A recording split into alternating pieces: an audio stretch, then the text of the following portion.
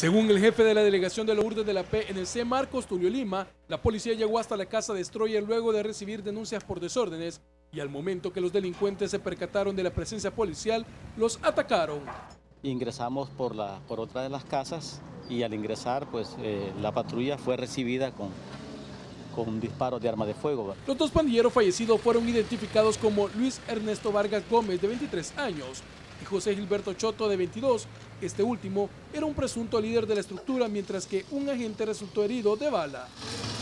Eh, los pandilleros son miembros eh, activos de la Mara MS.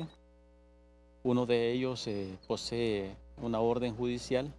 Durante el hecho también se generó una fuerte explosión que provocó quemaduras de tercer grado a cuatro policías y cuatro vecinos, así como dos viviendas incendiadas. Hay un impacto que, que pega en un tambo de gas que está en, en, una cocina que está en el patio y se genera una explosión, ¿verdad?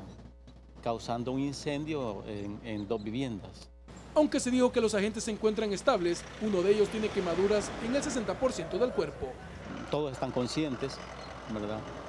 Pero el, el, la cantidad de, de, quemaduras que tiene, si son graves, de, de tercer grado, ¿verdad?